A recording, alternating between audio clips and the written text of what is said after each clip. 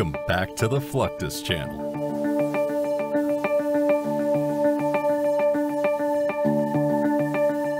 Aircraft landing on long runways have time to slow down and stop their aircraft by various means, but not on an aircraft carrier.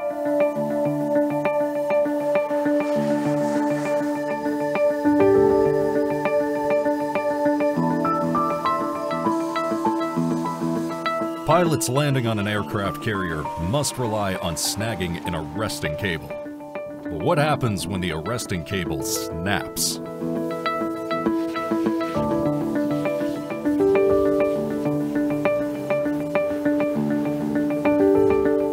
When aircraft carriers were first developed, it was soon realized that using arresting hooks and cables was the best way to catch returning aircraft for landing.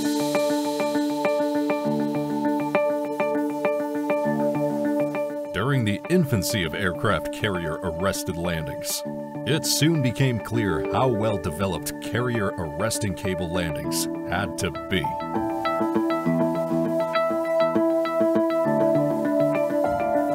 Although the evidence is scant, the operational frequency and originality of the technology would suggest that arresting cable accidents did occur more during World War II.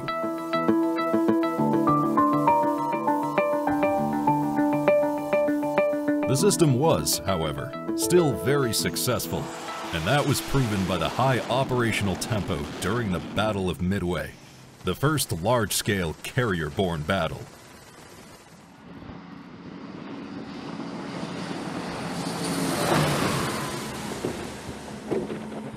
What happens when an arresting cable breaks?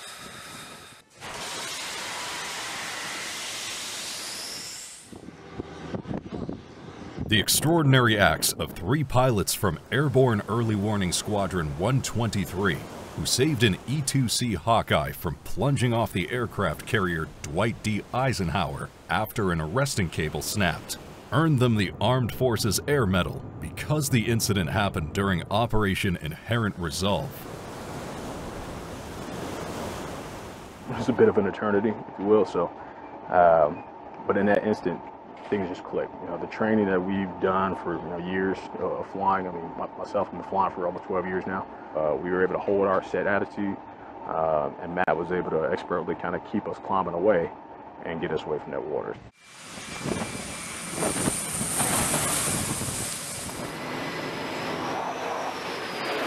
To ensure safe landings, the catapult and arresting gear crews of ships like the USS Gerald R. Ford do regular testing and maintenance on the Advanced Arresting Gear AAG system.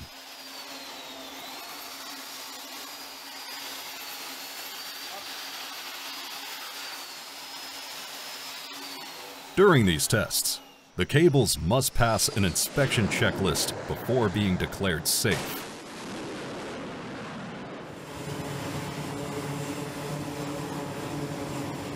Even with a perfectly functioning AAG, the pilots still need to know what they are doing.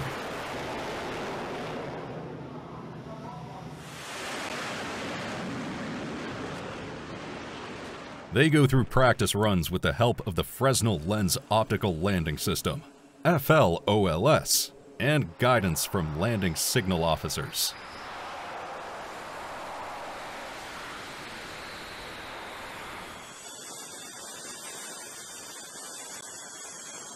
In order to ensure safe and precise landings on the moving ship, they practice touch and go landings on the carrier deck repeatedly, improving their timing, coordination, and use of sophisticated landing aids.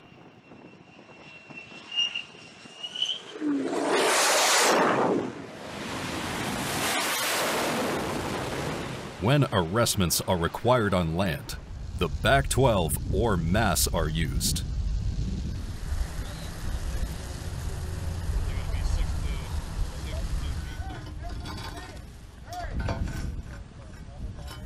The Mobile Aircraft Arresting System, MAAS, and the BAK-12 are necessary to safely stop aircraft during emergency landings.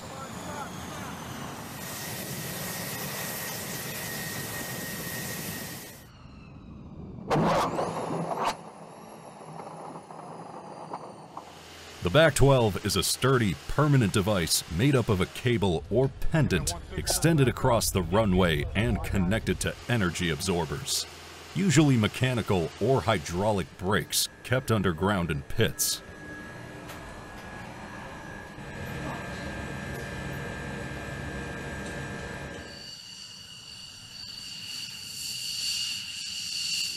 These brakes are the same as those used by B-52 bombers.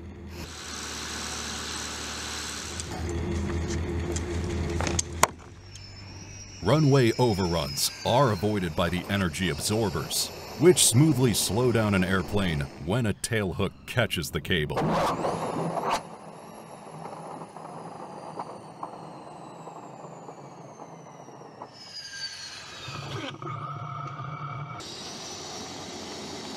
At temporary or distant airfields, the portable MAAS is utilized.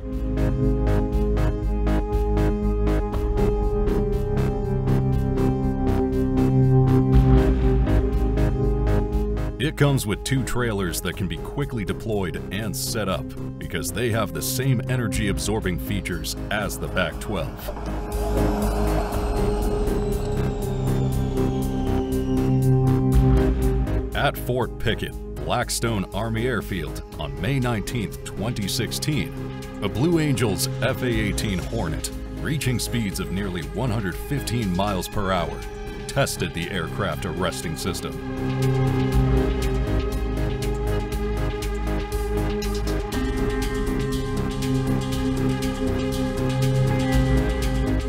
On airfields, aircraft arresting systems are essential safety devices meant to quickly slow down military aircraft in case of emergency situations, such as aborted takeoffs or abrupt landings.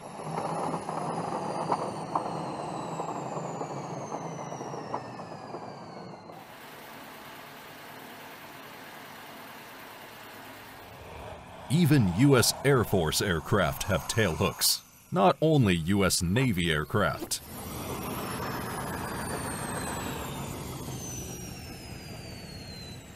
For instance, the Mobile Aircraft Arresting System, MAAS, is a transportable device that may be set up in temporary or isolated areas.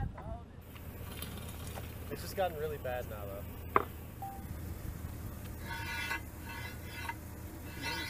In contrast, the BAK-12 is a fixed system frequently utilized on permanent airfields.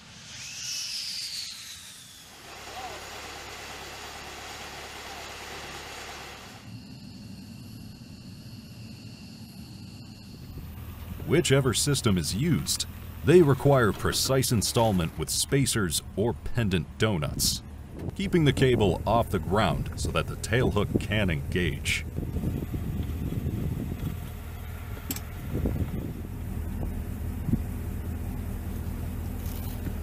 In the case of the MAAS, it must be securely anchored to absorb the aircraft's energy.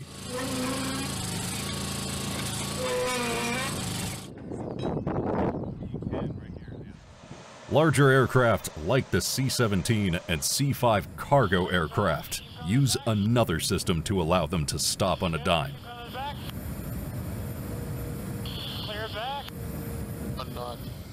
The purpose of the thrust reverser systems on the C-17 and C-5 aircraft is to assist in reducing the aircraft's speed while landing.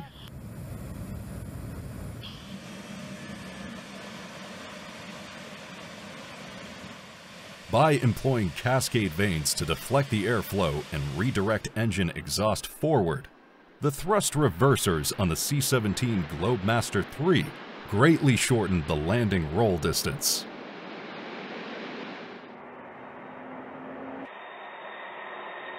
A similar technology is used on the C-5 Galaxy, where the exhaust is redirected forward by the thrust reversers to assist in deceleration.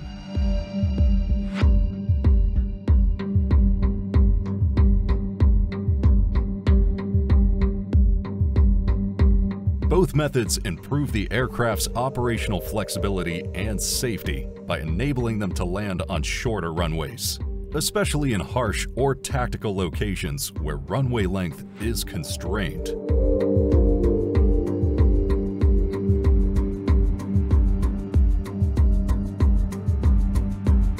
Better yet, these systems allow the aircraft to reverse.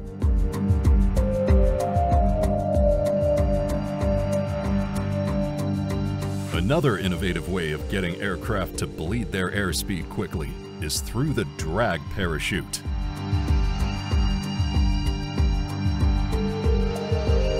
Drag chutes, sometimes known as braking parachutes, are used by aircraft such as the B-52 Stratofortress to aid with landing deceleration.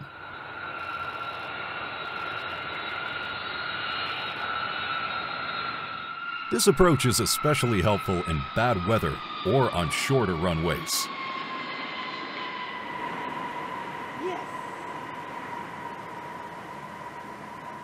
There is a compartment at the back of the aircraft that holds the drag chute.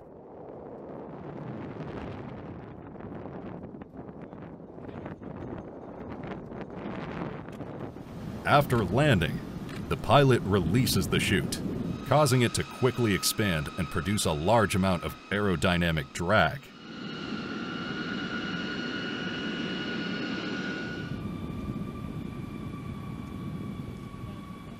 By lowering wear on the braking system and shortening the rollout distance, this drag helps slow the enormous aircraft more quickly than brakes alone.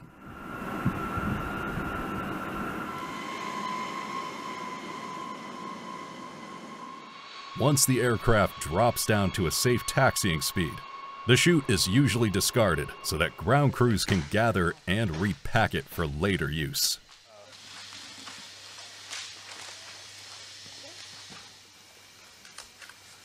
A B-52 drag parachute involves labor-intensive packing that calls for accuracy and close attention to detail.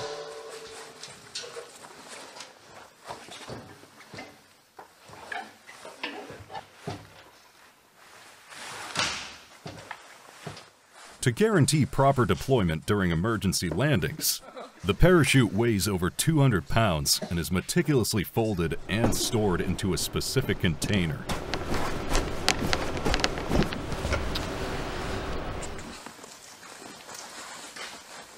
Usually requiring 10 to 12 hours to finish.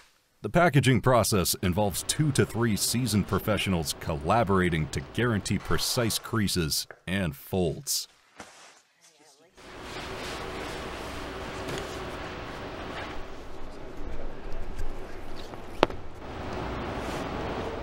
to improve its operational flexibility in various conditions.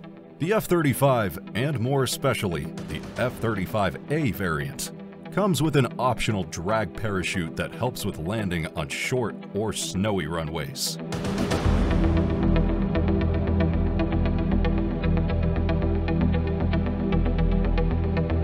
This drag chute system, which is kept in a unique pod on the back of the aircraft, can be released when the plane touches down to quickly slow down, guaranteeing safe and controlled landings even in difficult circumstances.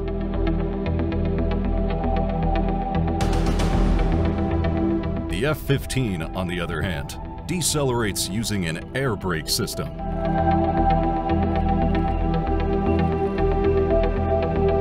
This method produces aerodynamic drag by extending a sizable, hydraulically actuated panel from the fuselage.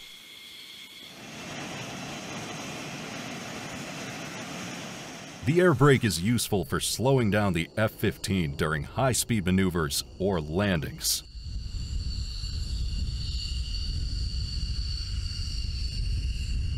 The system is very effective making a major difference to the aircraft's stopping distance.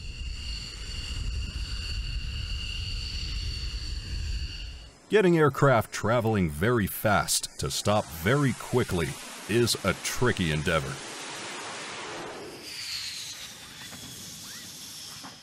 Arresting wires are the most effective, but air brakes and drag parachutes are still being used.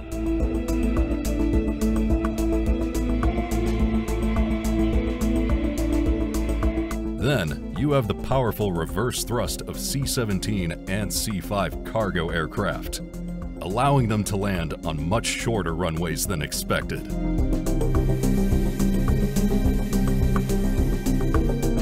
That's the end of this video. I hope you enjoyed it. Make sure to subscribe to this channel so you don't miss any of our new content. See you next time.